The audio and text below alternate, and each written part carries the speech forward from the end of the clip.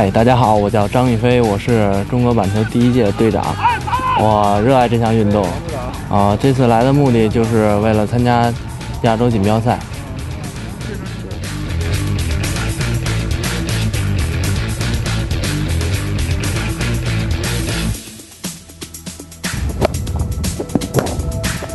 Yes. T20, the boy, senior boys. Yeah, right. Where we training? Yeah, yeah, yeah.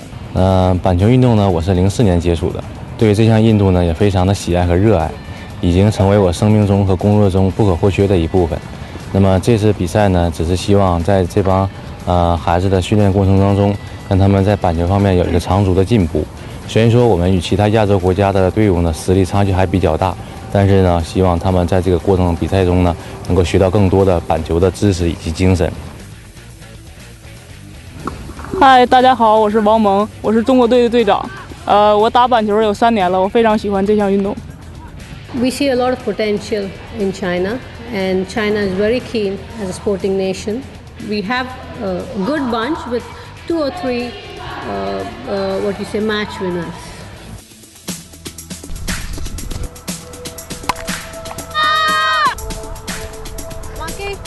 So do you think China could ever beat India? In another three, four years, I definitely see them doing it. Whatever we teach them, they pick up quickly. That's that's the plus point as compared to other nations, you know.